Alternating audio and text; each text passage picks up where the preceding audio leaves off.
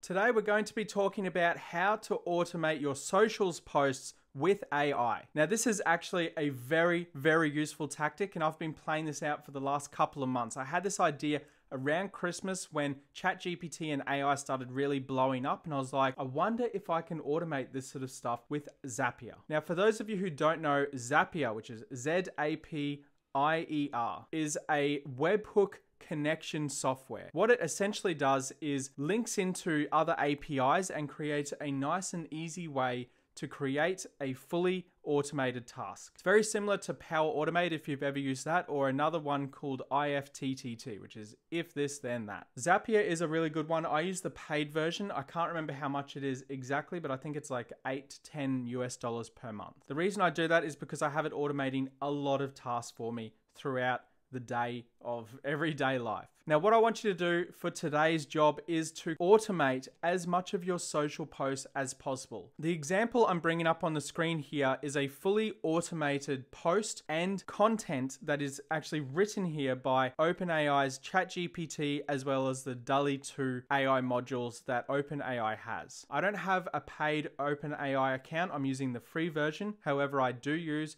a paid Zapier account. For this example, we do need to have a paid Zapier account to be able to utilize the Zapier webhooks. Now, as you can see up on the screen here, what we're doing is using Zapier to automate a daily task to generate content of a picture as well as the content that's actually written in the post. Now, I want this to work across multiple platforms, so I'm going to go with the smallest limitation, which is a tweet. You don't have too many characters that you can put into a tweet, and I don't want it to write too much. Otherwise, the tweet looks too generated and a little bit too AI driven. And we don't want it to come across as something that's like super AI. We want it to come across as genuine as possible to create a following around your accounts. So the first thing I'm going to do is create a prompt that asks for, as an example, you could have it like, what is the day-to-day -day life of an ethical hacker? Now the prompt you would write is something similar to that, but at the start, make it say write a tweet. The reason we're saying write a tweet is because that is the smallest amount of text that it will give you back. Once it's generated that, you know, generic content with a couple of hashtags, later on we're going to put into the list here that it actually includes your website in the post. Now this is the call to action as part of the tweet and this is what people will actually click on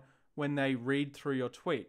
They'll see cybersecurity, they'll probably skip through the rest of the content. They might comment on your post, which is great. But if they do anything, it's usually to actually click on the like button or to click on the link in the tweet itself. Now, this is something that I share then across Instagram, Twitter, and LinkedIn. With the Instagram account, I have it linked automatically to Facebook like I told you to do in a previous video. So you don't have to post to Facebook as well. It'll, once it posts to Instagram, it posts to Facebook automatically. But the Twitter post and the LinkedIn post do need to be separate posts that it will do together as well. So as we can see in this example, I have Instagram, I have Twitter, and I have LinkedIn all connected to my Zapier accounts. This is going to be the output section of this Zap or automation, whatever you want to call it. It's the action. The trigger of this automation is to trigger every single day at a certain time. Now, yes, that's going to look very generic if you don't post anything else in between these posts, and I highly, highly recommend you do. The way I like to do it is myself to have a post every single day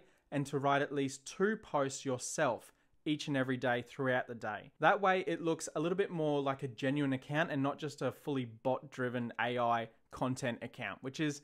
It's, I mean, it's nice and neat to look at, but it's not good content wise. People will realize that pattern. People are very good at creating patterns and understanding patterns as well. So you don't want to have it look too clean and, you know, structured like that because that's not what the real world of content creation is. It's usually it's it's a messy, I guess, output of people's thoughts. And that's how it should be. But for this AI driven stuff, we're just creating content for people to click on essentially. It also helps with things like backlinks to your website, but we'll talk about that in another video. Now, once you have your ChatGPT prompting to generate some content, we then do another ChatGPT action, which is to prompt it to generate an image. Now I use the ChatGPT playground for this to find a good image structure that I generate a couple of times to make sure it's on point most times. For this example, I've used a cyberpunk themed guy in a futuristic city as a illustration and i just want it like that so that it creates a, a sort of ai i guess like artistic sort of drawing of what cybersecurity could be imagined as. I didn't want it to be too like hacker themed because I find if you you do that in the prompt it brings up some really like rubbish posts or it sometimes get a little bit too political.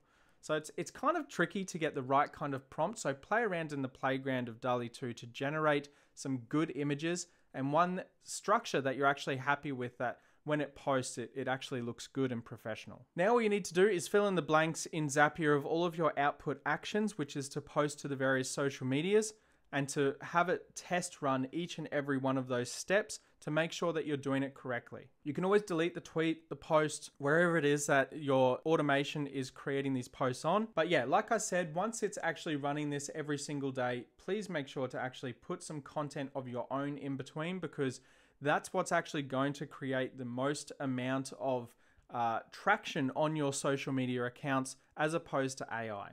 AI driven content is good and it is very helpful to sort of fill in the blanks and keep your brand in front of people, but really the advertisement that you want to do is going to be coming from you directly. This is just to get your name in front of people's eyes so that they recognize your name, your brand as much as possible. Thanks for watching, guys. If you have any recommendations or comments that you would like to leave, please do drop them below and I will answer them as best I can. If you are enjoying this series, please do share this playlist around. I'm working very hard to keep these daily videos going and I do appreciate all the comments and support I have been getting. So thank you very much for that.